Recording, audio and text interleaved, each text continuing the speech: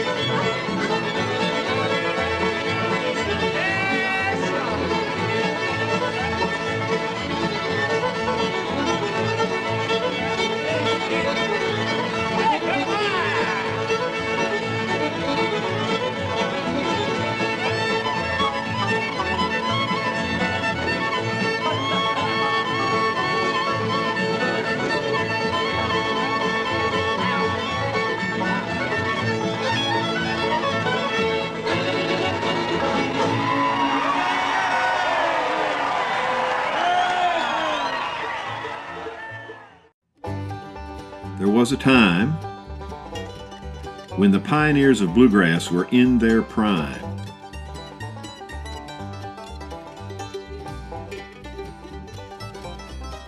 And the stars of today were just starting out.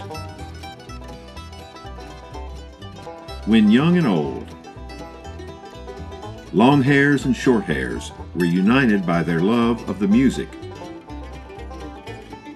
now, experience the joy of that festival with the newly restored classic movie, Bluegrass Country Soul.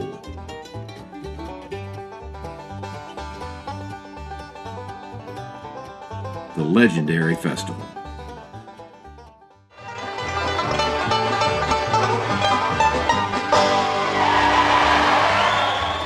Celebrate the golden anniversary legacy edition of Bluegrass Country Soul